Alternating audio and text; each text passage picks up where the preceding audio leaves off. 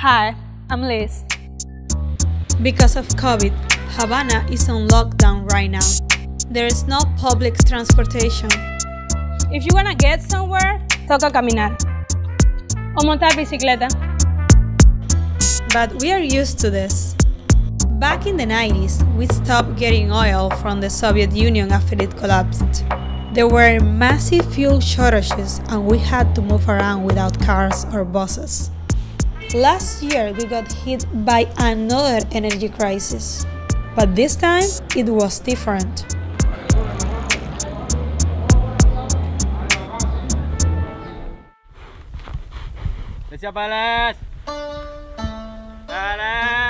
Vista Hermosa is an organic farm on the outskirts of Havana.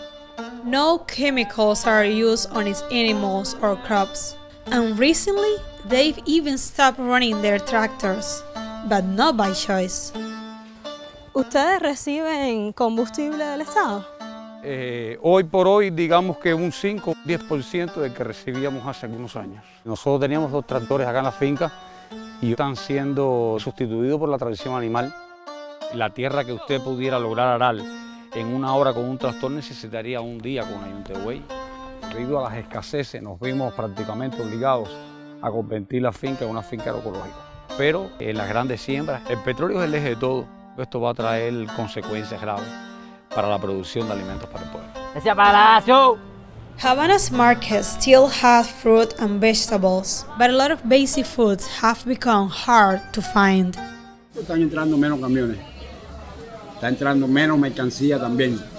Y la calidad no es la misma, porque mucha mercancía se está echando a perder en los campos, eh, no hay combustible para los camiones. No están permitiendo la entrada de los buques petroleros por el bloqueo que tienen hecho a Cuba.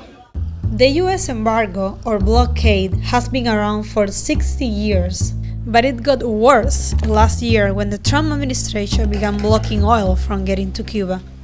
Out of Havana, where there appears to be some kind of gas crisis. El combustible escasea en Cuba una vez más. You can see the long lines. En estos días no nos va a entrar combustible. The Trump administration is sanctioning the ships who deliver that fuel. La isla dejó de recibir el petróleo subsidiado de Venezuela. The US wants to stop the oil trade between the two political allies. But...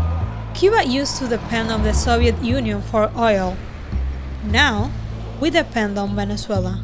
20 years ago, Hugo Chavez was elected president of Venezuela. Cuba and Venezuela became close allies. Venezuela has more oil than any other country in the world. But their healthcare system needed help, so the two governments made a deal. Venezuela sent us oil, and we sent them my mom. I'll never forget the day my mom flew to Venezuela on a medical mission. It was my 10th birthday and I was so sad.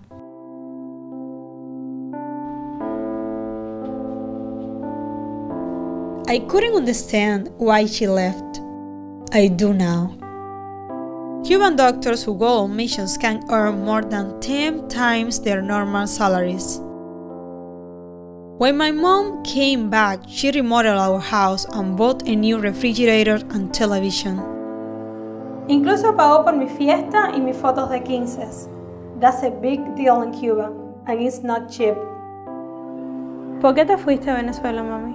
Me hice médico, cuyo objetivo fundamental precisamente era brindar ayuda a las personas que lo necesitan y era muy difícil decir que no. Y también, también, porque no te lo voy a, no te lo voy a negar, motivada también por el aspecto económico. Era la primera vez que nos separábamos y realmente fue muy difícil para tu madre, prácticamente con el alma rota, dejando una niña de apenas 10 años de lo cual me iba a perder muchas cosas de su crecimiento, pero no solamente fui yo, fuimos tantas las que dimos el paso al frente y realmente no, no, no me arrepiento. ¿Te parecía justa la cooperación que tenían Cuba y Venezuela, es decir, el convenio entre los dos países? Yo pienso que sí, que, que fue justo. Nosotros le brindamos salud y ellos estaban muy necesitados de eso. Y también era justo para nosotros porque recibíamos petróleo, también muy necesitado por nuestro país. This troika of tyranny, this triangle of terror stretching from Havana to Caracas to Managua, under President Trump, the United States is taking direct action against all three regimes. In 2017, Trump named John Bolton as his national security advisor. Bolton is a neoconservative known for pushing for U.S. military intervention around the world.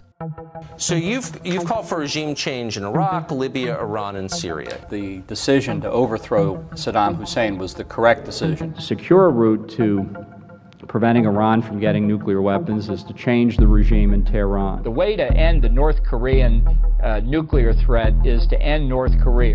Under Trump, Bolton began working to overthrow the Venezuelan government. Until recently, Venezuela exported more oil to the United States than anywhere else. Why topple a government you are dealing with?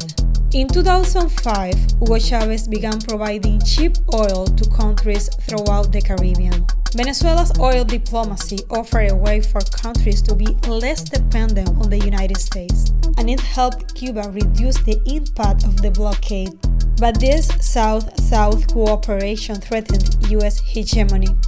John Bolton began talking about the Monroe Doctrine, which dates back to 1823. The Monroe Doctrine is alive and well. The Monroe Doctrine basically says the Western Hemisphere belongs to the United States. It's been used to justify US invasions in Latin America for more than a century. We seek a peaceful transition of power, but all options are open. Nothing could be better for the future of Venezuela, and nothing could be better for the future of another captive nation, Cuba. Thank you, Mr. President. But the US led regime change in Venezuela failed. So the Trump administration began accusing Cuba of having sent troops to prop up the government of Nicolas Maduro. The dictator Maduro is a Cuban puppet. The people of Venezuela are essentially Cuba's hostage. Cuba is the true imperialist power in Venezuela. If this afternoon 20 to 25,000 Cubans left Venezuela, I think Maduro would fall by midnight. There are 20,000 Cubans in Venezuela, and most of them are health workers like my mom. The idea that a poor country like Cuba is propping up an oil-rich country like Venezuela is crazy. Pero la verdad, poco importa. Trump used this as an excuse to block oil shipments from Venezuela to Cuba. Queremos agradecer la conciencia profunda del pueblo venezolano, pese a las criminales persecuciones. Lo único que falta, y no lo van a hacer porque estamos muy cerquita, es tirar una bomba atómica. Luis Berriz found a way to lessen the impact of the U.S. oil blockade. Todo esto es energía solar.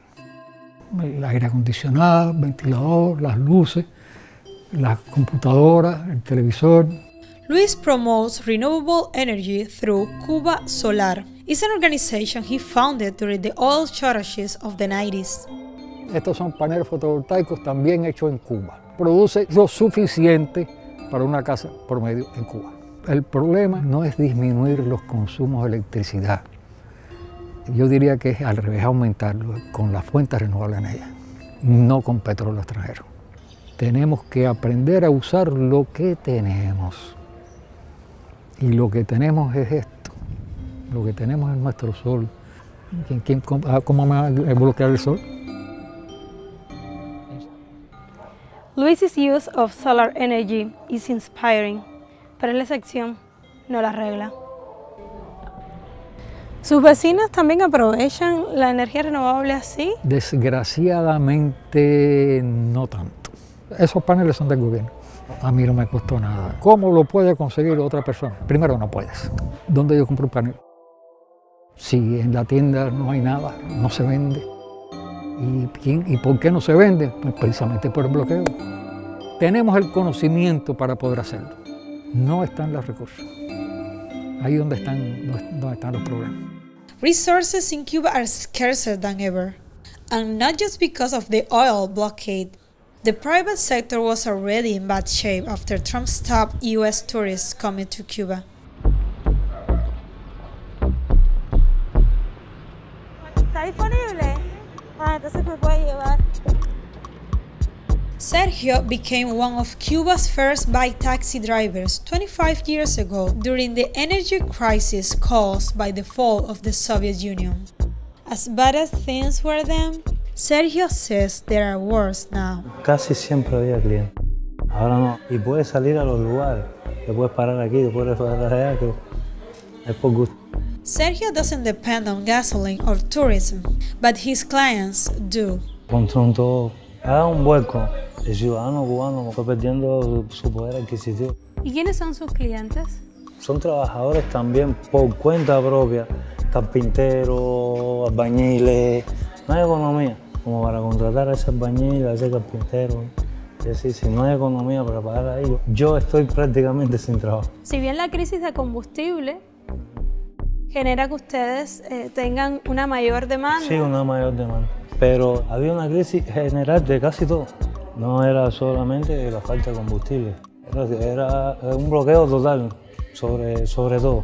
Ojalá y esto termine.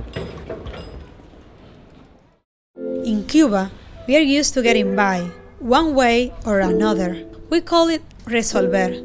We take junk and make it useful, and we use what we have to survive and improve our lives.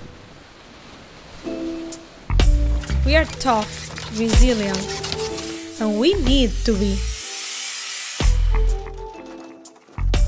The oil blockade was just one part of the economic war against Cuba. There would be more to come.